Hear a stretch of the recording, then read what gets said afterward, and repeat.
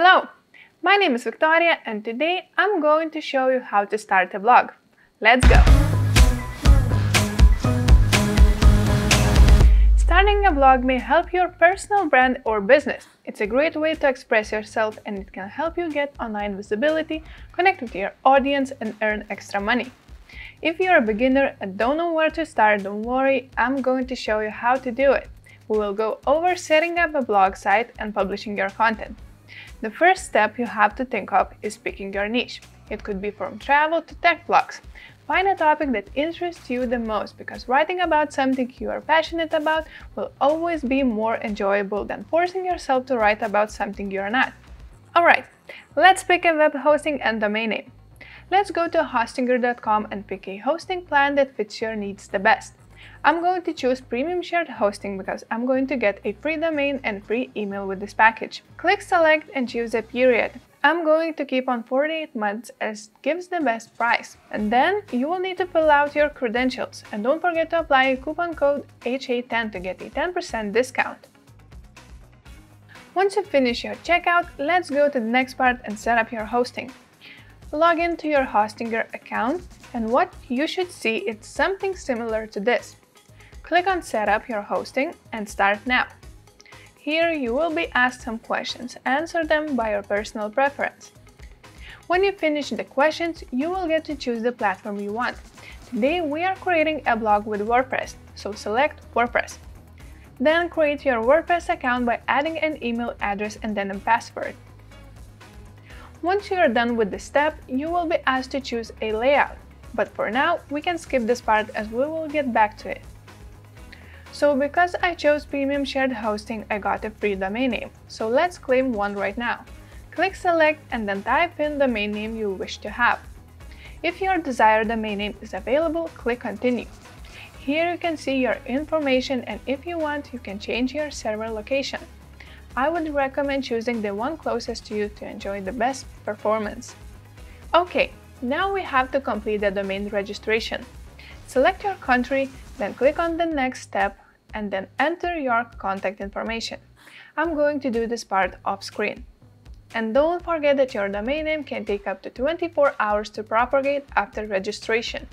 Okay, to increase website security and credibility, we need to install SSL certificate. Click on this control panel, then scroll down to SSL in your dashboard and click on it. As you can see, here's my domain. All we have to do is click on Install SSL.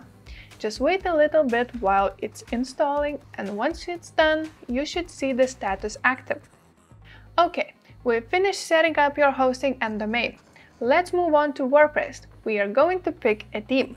You can access WordPress dashboard by going into your hPanel and clicking on Dashboard under the WordPress category.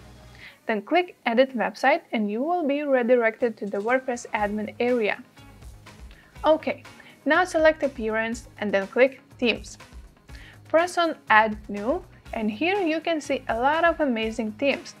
If you want to narrow down your search, you can filter out the search by subject, features, and layout. Also, if you can't decide on which theme to choose, check out our video 10 best WordPress themes, which will help you find a cost-effective and high-quality design that matches your branding. Alright, I'm going to pick Astra theme.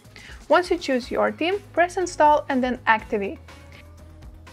Now we can check how it looks and as you can see, it's not really good, so we need to work on that. If you're also using Astra theme, let's do a little trick and import a starter site. This would give us a starting point and help us to edit the theme. Let's go to Appearance and then select Astra Options. Then here on the side, you will see a Starter Templates importer. Click on Install Importer plugin. Then select what type of website you are creating. In this demo video, I'm creating a food blog, so I'm going to select that. And then I'm going to choose this one called Coffee Shop. If you already have your logo, you can upload it here or you can skip this part and upload it later. For now, I'm going to skip it. If you wish, you can select your default colors and font that will represent your blog.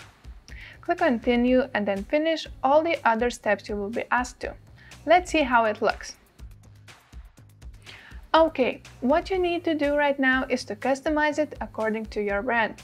To do that, click on Customize on the tab. Here you can edit all of the design aspects of the website, change header, footer, and so on. Don't be afraid to try out and explore the customization settings by yourself. Now let's move on to the pages. To create a page, click on Pages and then Add New. Here we are going to create our homepage, About and Contact page. So let's start with About page. Add your title and then your information. As I'm creating a blog about food, my information will be about that. If you wish, you can also add a new heading by pressing on the plus icon here and then selecting heading. You can also add all kinds of things like images, quotes, lists, and so on. Don't be afraid to explore this section and be creative. Once you're done creating your page, click Publish and go back to your WordPress dashboard. Once you finish creating your pages, you can delete the sample page because this is default page and you no longer need it.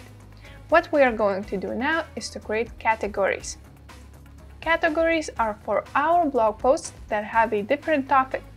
For example, my blog is about food, so I'm going to create recipes category, cooking tips, and so on. So to create them, go to posts and click categories.